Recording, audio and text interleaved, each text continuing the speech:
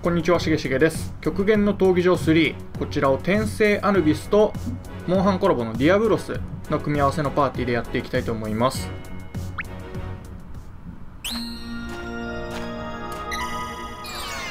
はいということで、えー簡単にリーダースキルなど、えー説明していきたいと思います。転生アヌビスの方ですが、えー8コンボ以上で攻撃力が上昇。最大10倍。スキル使用時攻撃力が3倍回復力は1.5倍というものになっております、まあ、結構ね使ってる方も多いとは思うので、まあ、こっちは大丈夫ですね。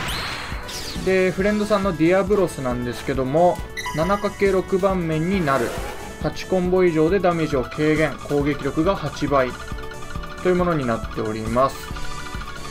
でこの組み合わせですね。まず 7×6 番目にできてお互いコンボ系のリーダースキルなので、まあ、非常に相性がいいです。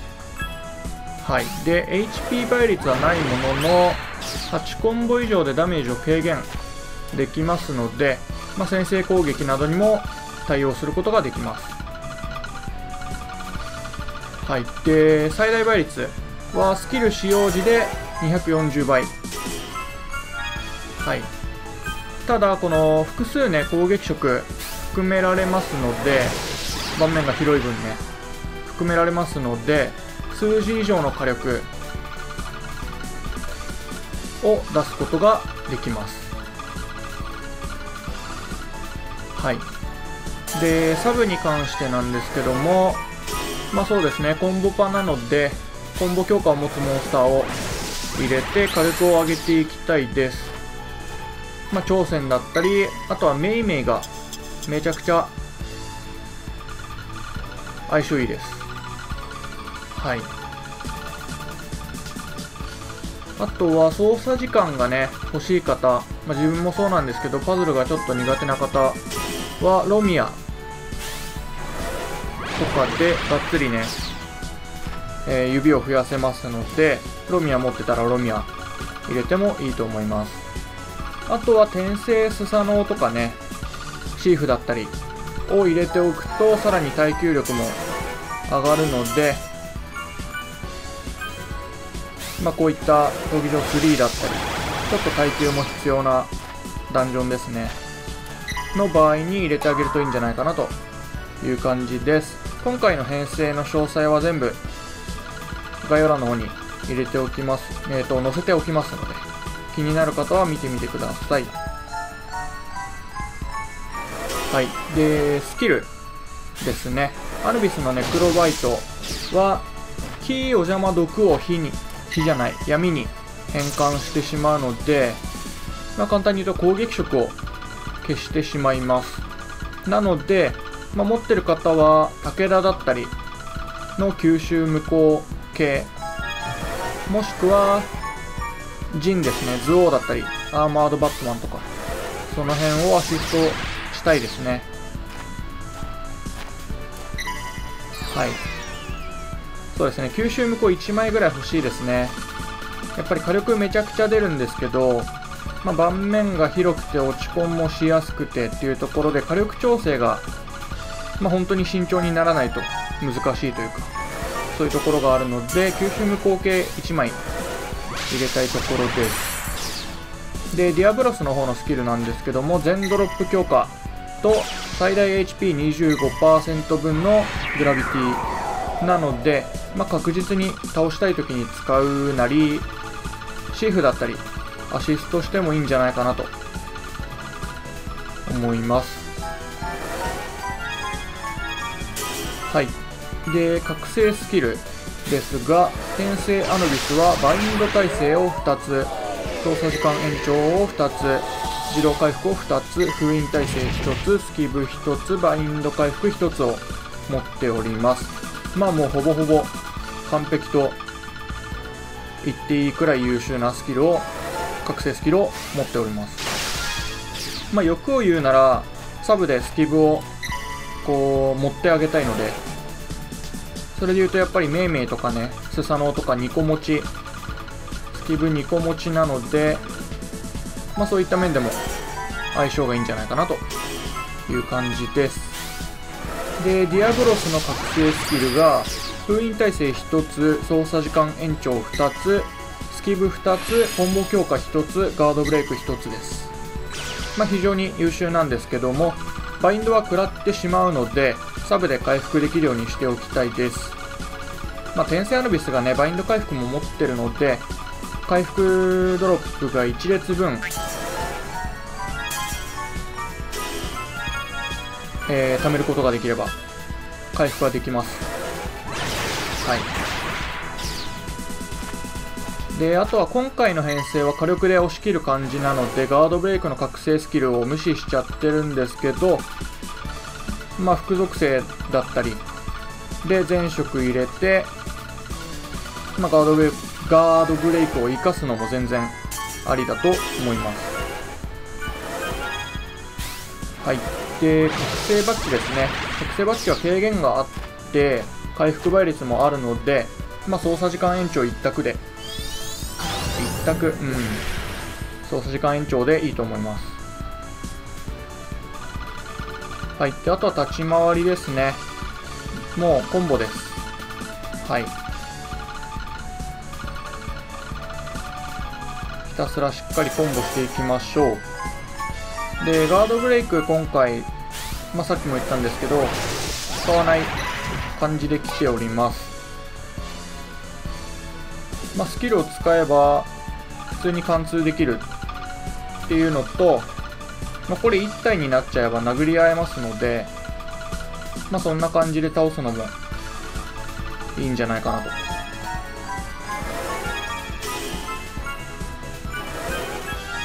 はい。めっちゃ乗ったからこれ抜けないか。さすがにスキル使ったターンじゃないと抜けないっすね。まあそれで言うと、ここで全然ディアブロスのスキルを使って全面ドロキを入れて抜くのもありなので、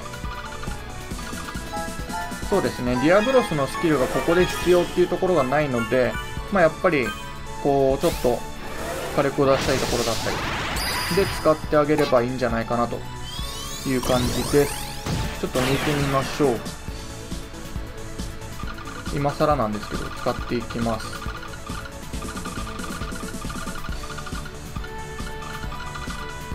泥鏡がね結構バカにならないので。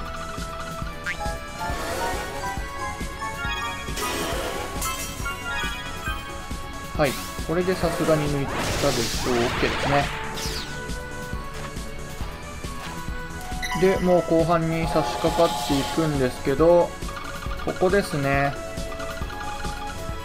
ゼヘラだったら、まあ、アヌビスのスキルで反撃で倒したりもできますがここは一旦、えー、思いっきり攻撃して相手の属性を闇に変えますで闇になった後にスキルを使わずに8コンボすればまあいい感じに減っていきますので、まあちょっとね、手の抜いたパズルで、まあ落ち込ん1つくらい来るので、はい、ちょうどですね。これでいい感じに調整できると思います。はい、そしたらあとは、もうサクッと倒すだけですね。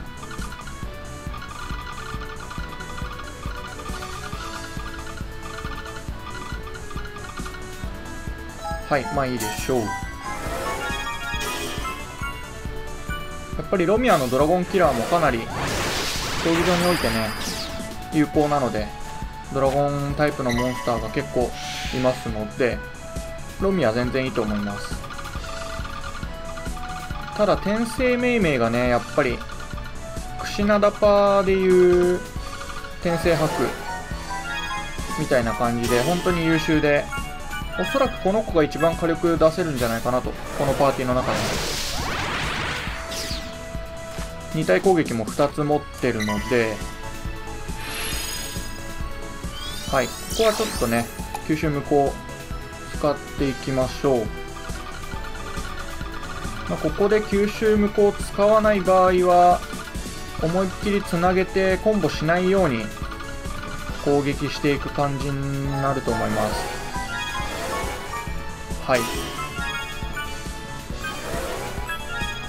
まあ、今回はサクッと倒していきましょううんやっぱり天性命名が一番火力出してますね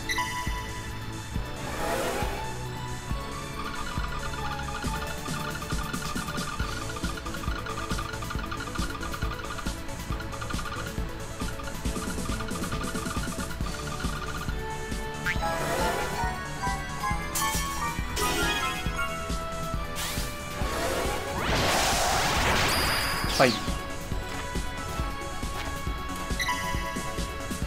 この辺りも余裕です。一発食らって三色陣使ってもらうのも全然ありですね。突破の方法としては。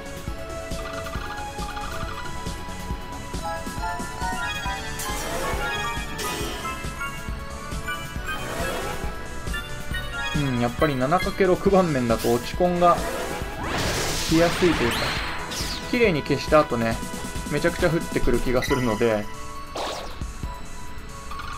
気持ちいいですね。でこの辺りからまあ少し気をつけながら進んでいきましょう。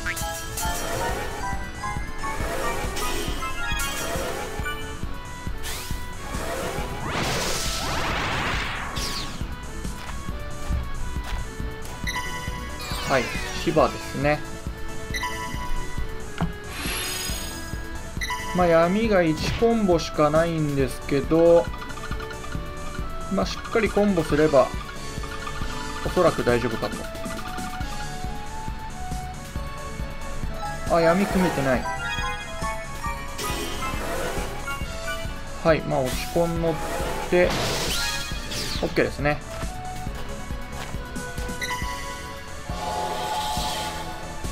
はい。リファイブは、まあ、回復をしながら倒していきたいですね。早めに倒していきたいですね。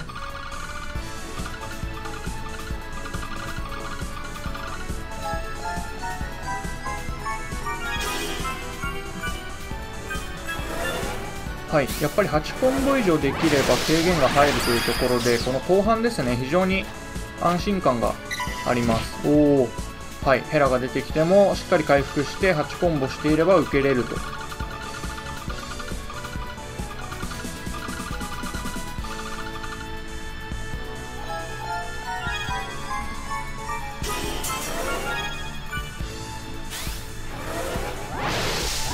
はい OK ですね。でレーダードラゴンがはいガイアドラゴンですね。ガイアドラゴンは割と楽なので、まあ、スキルを使ってコンボしていくだけです。そうですね。それで言うとあのエンハンス持ってきてないので火力を出すときは、まあ、最初にも言ったんですけど、えー、スキル使用時っていう条件を生かしていきます。でちょっと乗りすぎたかな？大丈夫か？はい。これであとは敵の行動パターンを見ながら行動パターンを見ながらというかまあターン以内ですね。で削っていきます。基本的にはスキル使用時じゃない限りもう全力コンボしちゃっても全然無効化されることはありません。まあこの辺りからね、まあ、半分切るくらいからスキル使ってコンボしていきましょう。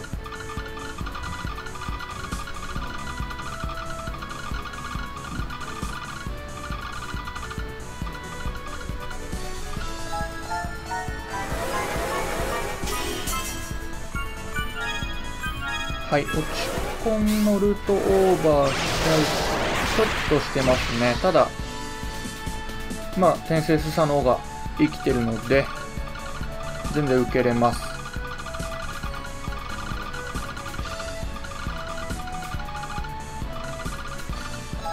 はい。これで倒したかなという感じの落ち込んですね。うん。もう一発ですね。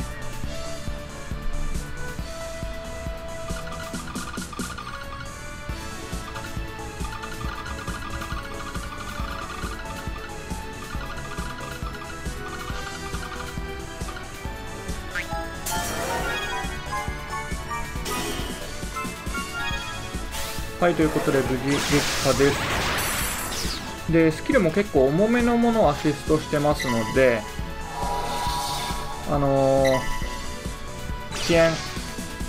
ヘパドラの遅延だったりも受けた後に普通に、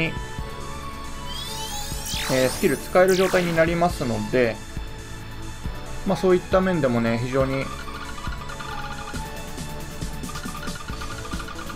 後半も安定して戦えるんじゃないかなと。いう感じです。これはワンパンできたかな。はい最後転生命名の火力注目しましょう。めちゃくちゃ落ちコン乗ってますね。はい転生命名が9000万オーバーですね。ということでめちゃくちゃ強いので。ディアブロス引けない方もね、アヌビス持ってればこんな感じで戦えますので、ぜひやってみてください。コロシアムとかでもね、全然戦えるので、めちゃくちゃ強いです。